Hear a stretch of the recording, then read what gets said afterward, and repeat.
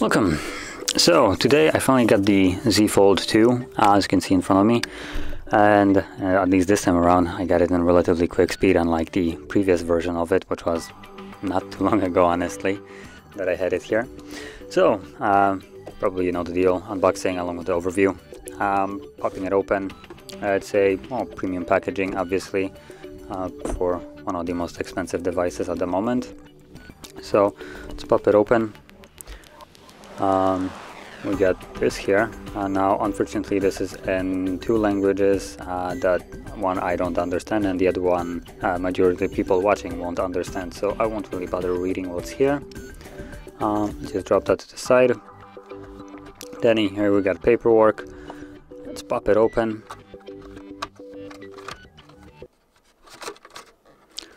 So obviously paperwork, uh, again, it's uh, in my language right here. Actually, no, this isn't. The warranty card is actually in English. Uh, but yeah, that's about all you get right here. So again, let's drop that to the side. And then we got the fold itself. Now I'm gonna take it out and put it to the side for now. Uh, then we got whatever this is. Hmm, services, whatever. Uh, charger, obviously. Um, charging cable. And the typical AKG headphones that are wired. Uh, it's really a shame that we get wired headphones with a device that comes around $2,000. Um, something like, what was it, a Note, a Note 10 or one of the Notes, I believe, was coming out with the wireless buds. Uh, for some reason, a device that's supposed to be more premium, at least I assume by a price tag, it feels like if there was a premium shelf, and this device is like, well, above that premium shelf. Um, even the packaging kind of feels like it's above premium. As you can see, it is well something that I haven't seen before. The way it opens. Um, now, as you can see, there is not much more in here, uh, comparing it to the typical Samsung devices. So that's all you get. So yeah, just drop that to the side somewhere and get the phone in front. So there we go. So I already did set up the device so we don't have to do that anymore at least. Um, let me quickly open it up.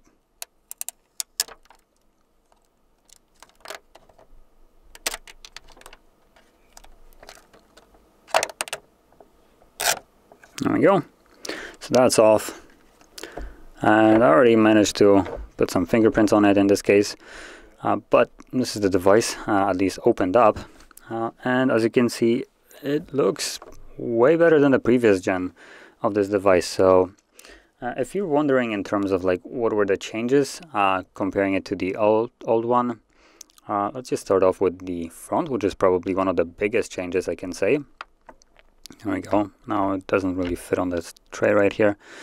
But I don't know if you remember, the Fold 1 had this puny, puny display that was kind of like well, about this size and all the rest was just bezels. Um, they did change that up now. So you have this super thin display. As you can see, let's just bring up a normal device here, uh, something that has a little bit more uh, traditional shape. So this is the Mate uh, 20 Pro. And you can see that comparing it to this one, the width of the display or device is about the same as this, but uh, the screen itself is way uh, longer rather than wide. So you can clearly see that if I if I light it up you can see the difference right here. Let me also max out the brightness which it looks like it already is. So let's open up something that is white. There we go. So you can now clearly see the display.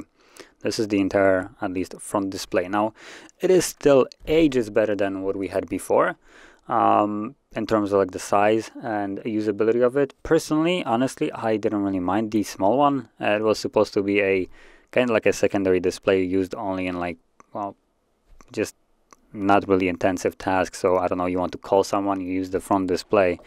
Um, so I didn't really mind it that much. Uh, I did understand the gripe with it that people had. I mean, you pay 2000 for a device, it kind of looks in the, on the front like it's a device from 2010. So it, it, it felt it felt outdated, at least the, the front of the device. If you're looking at, at it strictly, that it's just a front display.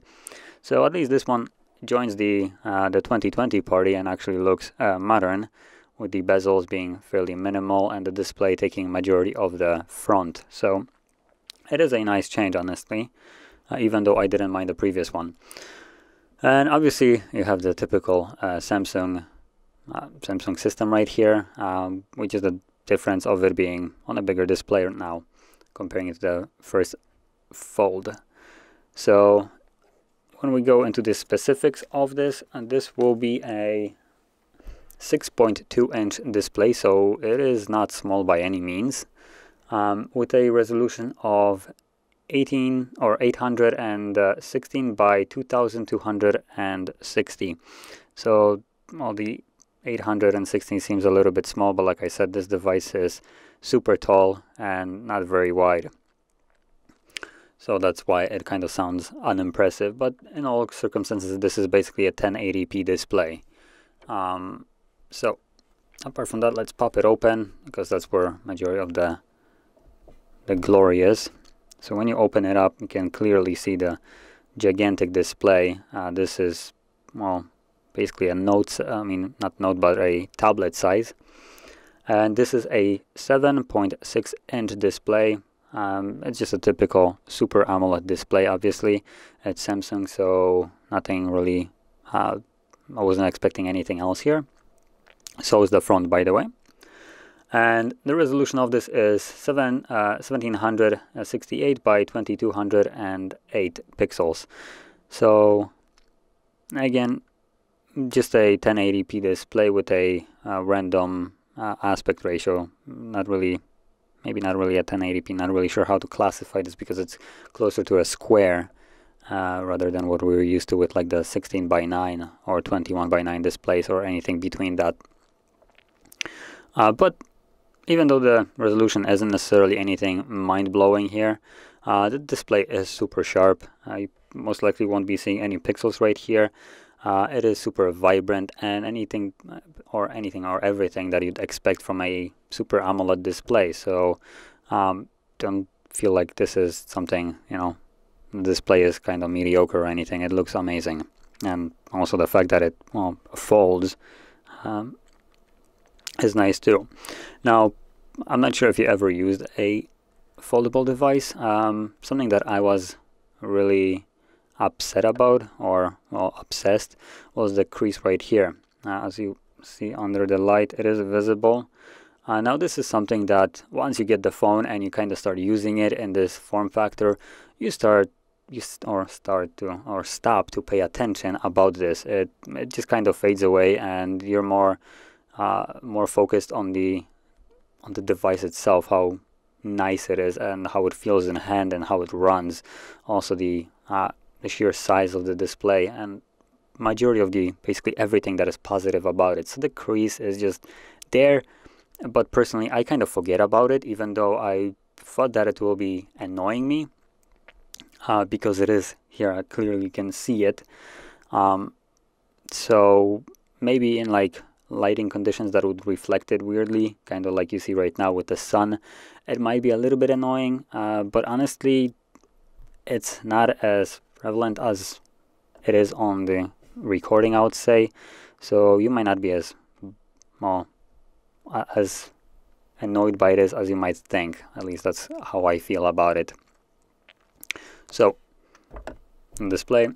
And uh, let's finish up the actual display specifications here so it is a 373 pixels per inch uh, so fairly decent one basically what we expect from majority of the flagship devices, uh, approaching somewhere like the 400 pixels per inch. Uh, this is kind of like the standard right now. Um, and it has an 88.6% screen to body ratio. Uh, now it does, on the paper it seems a little bit small, honestly. There are devices that approach like 90 something. Uh, but because of the, of the, size, you don't really get to see that. Uh, the bezels are here, obviously, uh, we don't have bezel-less phones yet, uh, but they're really minimal, and I think the percentage just makes it look unimpressive because of the entire device size. but when you're holding it in hand, those bezels are barely noticeable, especially when you're using a dark background right here. Um, they're almost invisible, but when you open it up, you can kind of see it. So, uh, moving on, the display is an HDR 10 Plus certified. Obviously, I mean, it's an AMOLED display. And something that was surprising to me, it comes with a 120 Hertz refresh rate. Uh, now, I did have a real problem with the uh, Note 20s, the specifically anything below Ultra, not having a higher refresh rate. So I'm really happy to see this being done here. Now, I'm not exactly sure if this this is only the the inside screen being 120. Let's quickly check um, if both of them are, but something tells me it's just to be the single uh, single display in the inside and yep this is a 60 hertz so at the front you just have a typical 60 but at least inside it is 120 and this does add a lot into the experience of the device how smooth it runs and how it feels uh, it does add that super premium feel to it in my opinion now if you never use a 120 hertz display you most certainly will not be able to see it on the recording right here. Uh, this is something that you have to check out yourself on your device or any kind of device, for instance, in the store. Make sure that it's enabled and just start scrolling through things. You'll see how smooth, buttery smooth it glides through everything. Just a different experience comparing it to the 60.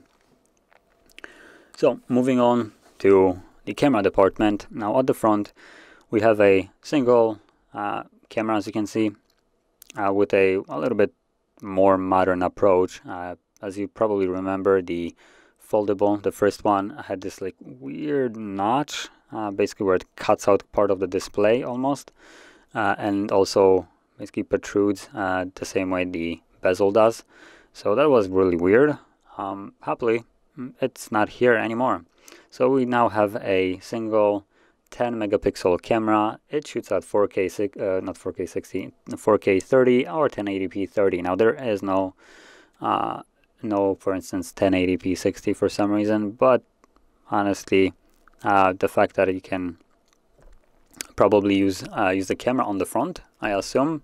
Um, I guess we're gonna test it out, uh, how that looks like if it's possible. Uh, but by all means, I, I, think this would probably be a smart decision from them to make, uh, assuming it's not already. So just a 10 megapixel here. And if we close the device, at the back we have something similar to the Note series uh, with the triple setup of all 12 megapixel sensors. So we have 12 megapixel wide, telephoto, and ultra wide and all those can shoot at 4K 60, 1080p 60, and 240 and uh, 720p at 960. Now the 1080p and 720 with the 240 frames and 960, those are slow motions, just so you don't mm, confuse them. Uh, but 1080p for and uh, and 4K are just a normal 60 frames recording. Now I am kind of sad that we, we don't get the 120 hertz, uh, uh, not hertz, but 120 frames recording, kind of like the Note 20 Ultra has, considering this inside is a 120 hertz display, so this would really go well together. Um, but let's actually open up the camera and see how it runs, assuming I can quickly find it. It looks like it's preloaded with a bunch of game, or not preloaded, uh, someone from the office already installed it here. Um, now, am I blind? There we go, camera. So, uh, this is the camera right here. Now let's see if I flip it over.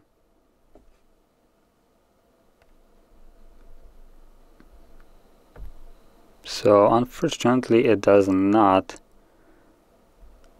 look like allow me, me to do this. Aha, there we go. So there is a button for it. As you can see right now, you could basically use the um, well, front right here uh, to see yourself while recording. So I guess that makes sense why the uh, why the inside camera is kind of garbage, I would say, because you can basically use the front of it um, and get the best resolution out of, of the front or the main sensors. So this is really nice. Now it looks like it is hidden by the behind this button, so you do have to tap on it. And once you, well, right now it's on, as you can see. If I tap on it again, there we go. Now it's off, and the display is off here. So it is a nice touch. Now I would uh, try to make a photo right here. See if I can find anything to capture. Um, guess we're gonna see. I just get this little tray with bunch of SIM cards in there. It's, at least it's Samsung, so it's a positive. So let's capture a couple photos right here. So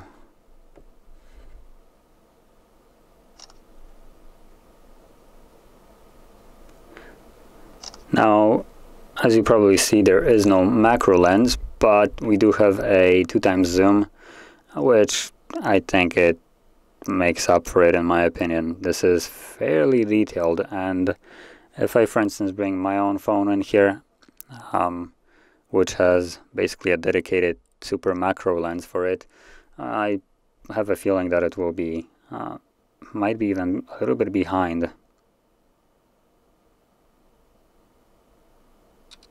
so let's just get a comparison right here. So as you can see uh, I would say they're fairly close.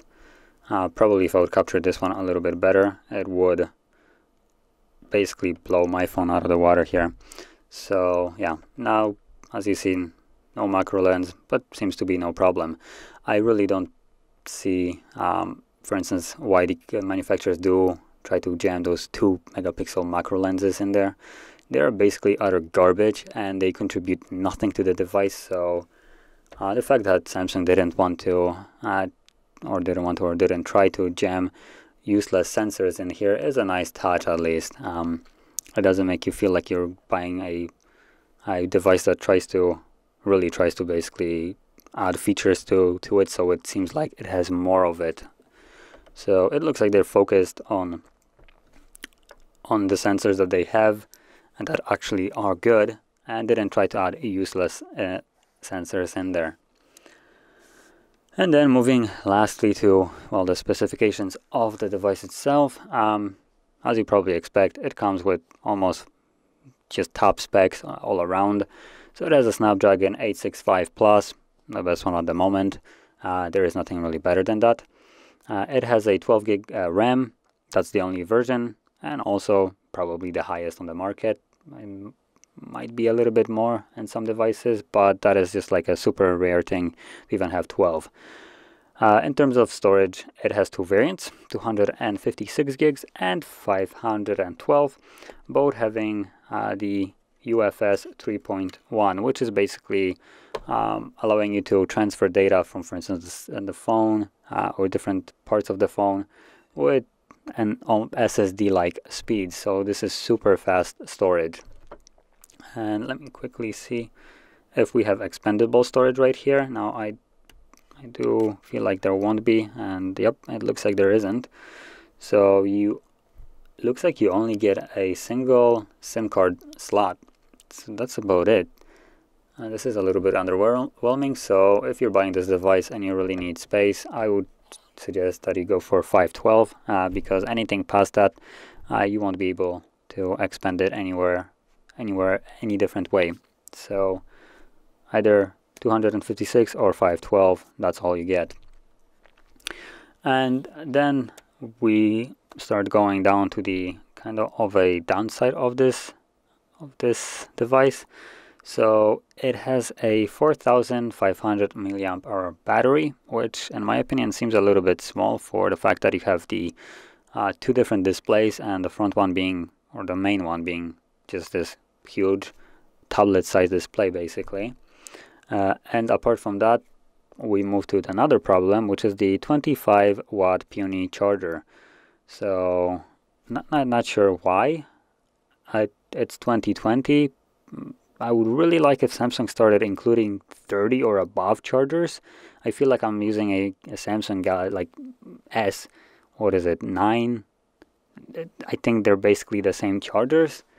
Uh, the only thing that they changed in there uh, is the fact that the charger itself has a Type-C port in it. So you have a cable that has just both ends Type-C instead of the typical Type-A to Type-C. Uh, but mm, different specs, the, charger is just underwhelming in my opinion, especially for a device that comes at $2,000 basically. Uh, now it does have a little bit of a more redeeming qualities like 11 watt wireless charging. Uh, personally, I the idea of wireless charging is cool and all, uh, but the 11 watt charging of of just wireless is just underwhelming, and I prefer to just plug it in rather than just put it on a pad, uh, try to fiddle around to get it charging, and then have a mediocre charging speed. Uh, now this is nothing really to do with the uh, phone, at least uh, this phone. Um, I just more the wireless technology um, isn't necessarily picking up as probably some people would hope to. Um, so the 11 watt charging is kind of like the standard for majority of the phones that do have wireless charging. Uh, there is only, I believe, one other phone that does it at ridiculous speeds of like I think 40 watts. Uh, but this isn't the phone, unfortunately. And also, it has a reverse wireless charging at four and a half watts. So this is just something that you will use to charge your headphones, earbuds, something like that. Um, I wouldn't recommend to use this to charge other devices. Uh, your battery on this one isn't big enough. That's number one. And number two, the charging speeds of this are just laughable uh, at best. I, I don't think you can get a 5% uh, in a respectable time unless you're planning to go to sleep. And then uh, something that I another part of this is the fingerprint sensor, which is located on the side on a power key. Uh, now, I kind of don't mind it, but I kind of do. Uh, it's a, I would say, a double-edged sword. I really like the fact that, uh, at least I got used to it, the under-display fingerprint. I'm not sure if this is possible on a flexible display. Probably would be nice to see if it is. Um, or for instance have it on the front at least um, because on the side it just kind of feels outdated to me and if I'm paying basically the most premium price for a device uh, I don't want to feel like I'm spending money on something that uses kind of like easy mm, something to just as easy like the fingerprint sensor on the side that feels like I just let's just put put it in here just so there is a fingerprint sensor but let's not put much effort into it. And honestly, this, this kind of idea uh, extends to most of the device. Even though I like it, I feel like there hasn't been done much uh, between the two uh, two iterations of it. So the first one, uh, as you've probably seen before, had the problem of uh, of people peeling off the cover. Now in this one, they I believe they include a protective cover on here. As you can see, there is a tiny little like lighting that you can maybe see. Let me lock it and try to... So you can see that there is some kind of protective film on here. And you can see this kind of like U cutout uh, for the camera. So uh, I, I'm not exactly sure, but it might be removable. It does say something about on, about it on here. So we have um, it is recommended that you do not remove the screen protection film and do not install other film, other, uh, other stickers, as doing so may cause uh, product damage. So the way they kind of worded it, it seems like it is possible to take it off if it's damaged or something like that, but they really discourage you from doing so and also really discourage you from putting any kind of other protection. Now this is a step up anyway from the previous one which uh, had this film that people peeled off and either damaged the device, at least at the first launch of it, uh, or also there basically being no protective film at all apart from the kind of like the thing that they installed and tried to hide under the bezels. Um, so yeah, uh, but apart from that, you have this entire list of things that uh, you just basically cannot do. Uh, so don't press the screen or the front camera uh, lens with a hard or sharp object. Uh, such uh, such as a pen or a fingernail. Um, I wouldn't consider a fingernail to be hard or sharp really. uh, but this device is basically plastic uh, or it's supposed to be some kind of glass but let's be honest uh, the glass that we're used to isn't bending from fingernails um, uh, doing so could result in product damage um, such as scratches or dents so uh, flimsy little display. Uh, can get damaged by anything that you put in between it basically.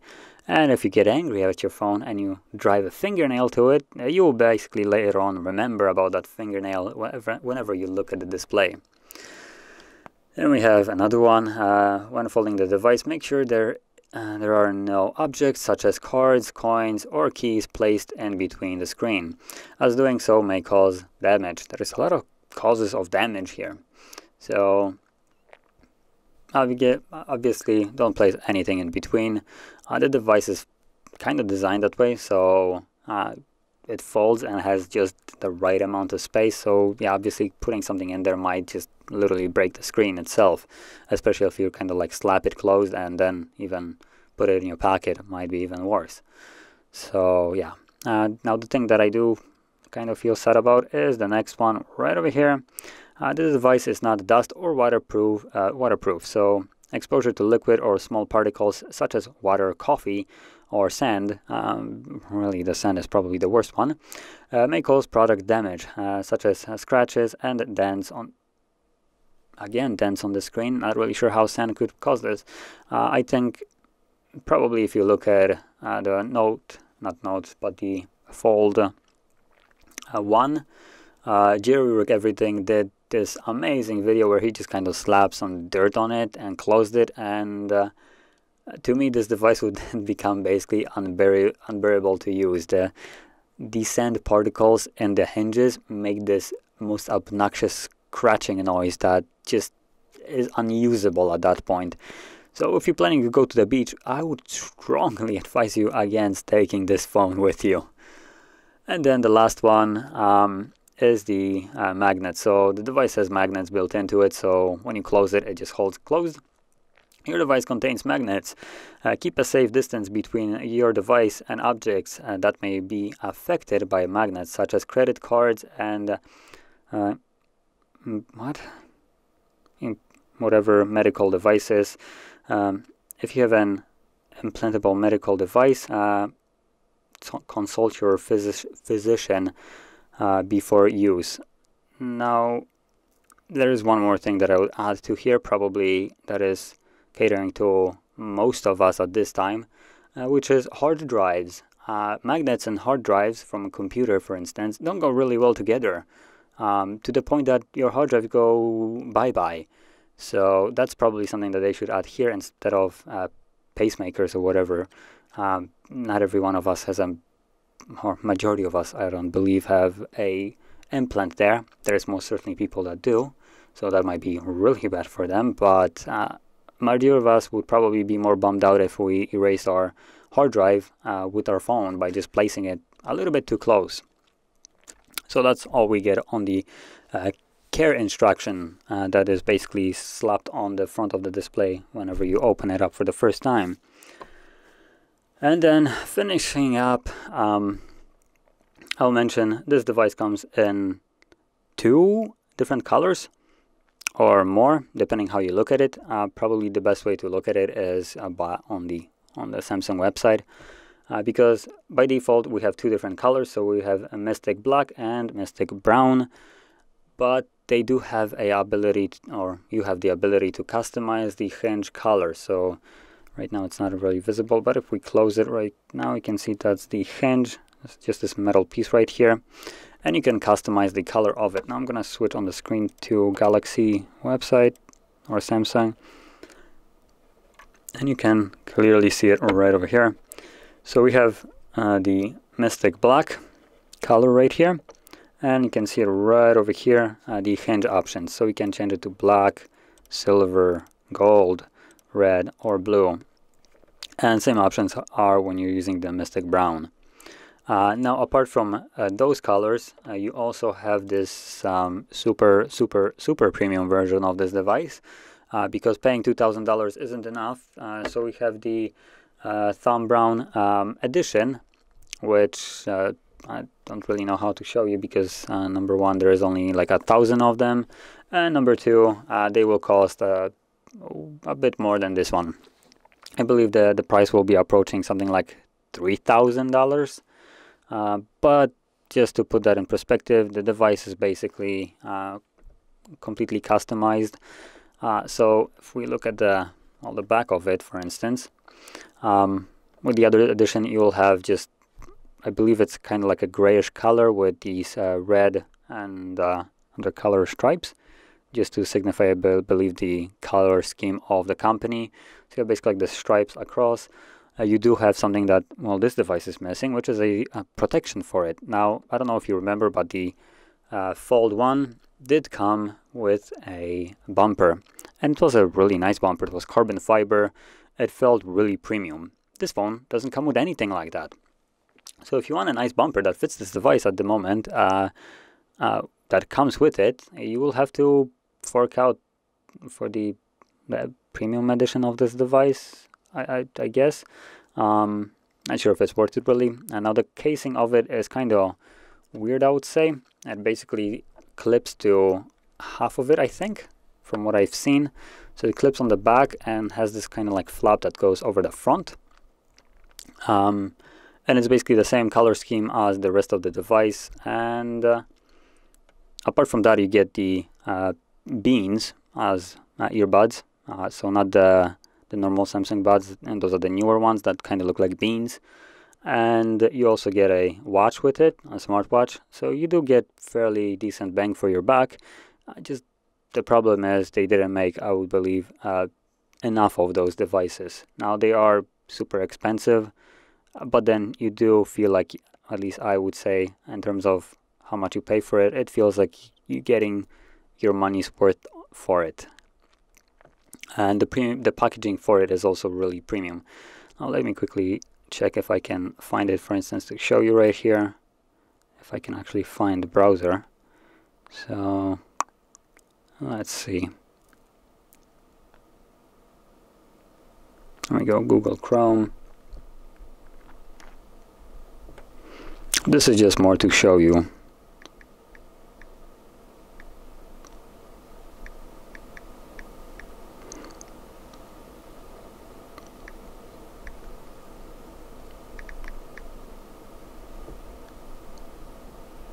Is kind of weird to type on this keyboard. As you see, it's kind of divided in half, and it does feel a little bit weird to me. Uh, and also, I'll mention one more thing. Uh, the haptic feedback on this device isn't very, uh, very good. It, it's still decent, but I would have expected a little bit better haptic feedback from it, honestly.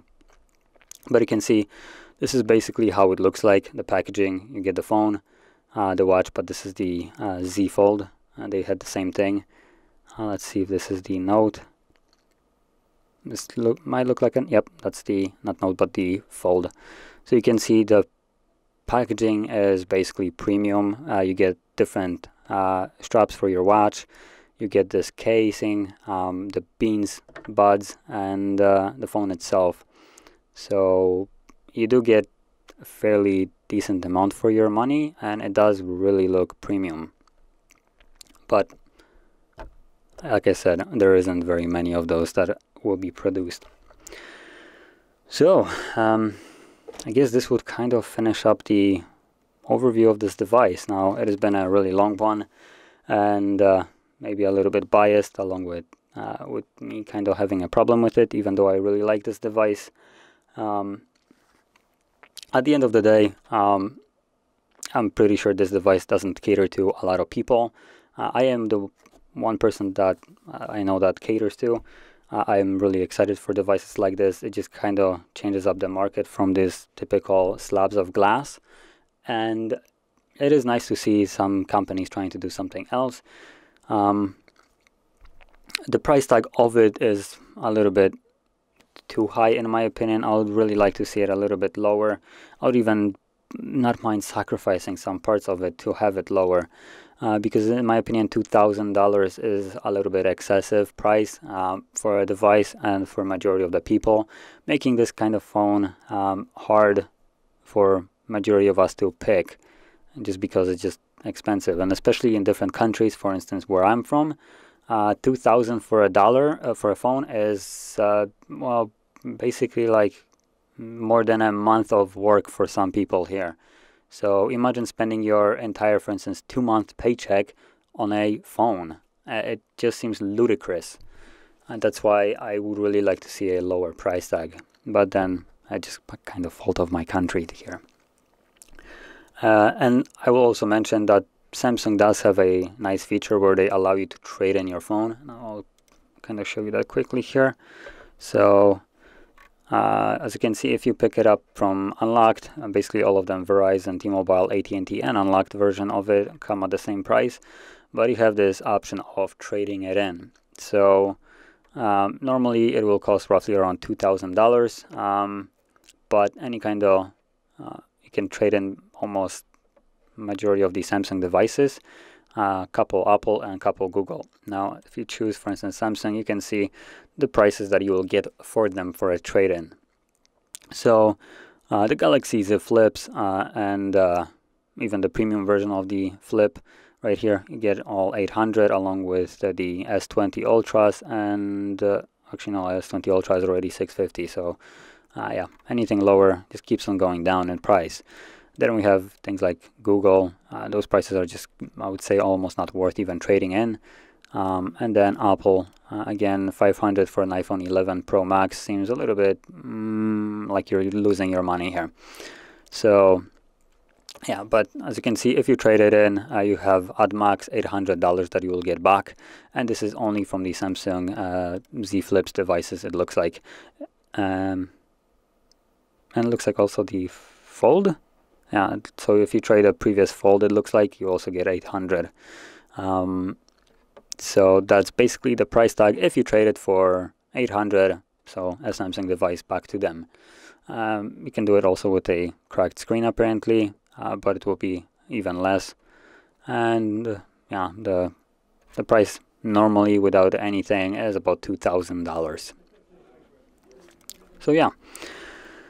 And finishing this up uh, I would really like to recommend this device. Um, I really like it, mm, but at the price tag, if it's basically as rough for you as it is for me, uh, I would say it's almost not worth it. Uh, so this device would more be catering to those people that just have um, too much money, uh, which isn't really me. And even though I would really like to have a device like that, uh, well, let's be honest, I can't afford it here. so I really like it, but at a lower price tag and the device itself works as you expect as a flagship. Um, the packaging and everything about it is almost premium. I would really like to see uh, wireless uh, earbuds in there, uh, like Samsung used to do with some premium devices, uh, which for some reason they dropped here. And I would also like to see a casing for this device. Uh, after spending $2,000, every Chinese manufacturer can make it with a casing. Um, even the Samsung previous Fold could do it, so I don't see a difference why this one couldn't. It's the same price, same upgraded device to a newer standard. Where's the case? And uh, also a SD card slot. That's that's something that I would really like to see. Um, because maybe I don't want to fork out more money for a uh, 512 gigabyte version of this device, and I just maybe want to slap in a SD card. So that would be also a really nice touch here. But apart from the, pr the problems of the design of this device in terms of uh, what they included in it, the device itself runs just flawlessly as you would expect from a device for that price range. Um, probably not much better devices are out there. Um, and other than that, it does really feel nice to use the uh, big display right here. It does have this wow effect and the phone itself will probably turn some heads if you're using it normally on day-to-day -day use. Um, and yeah I really like this device. So if you if you really want it and you can afford it I would recommend it honestly. So yeah. And if you found this video extremely long video helpful uh, don't forget to hit like subscribe and thanks for watching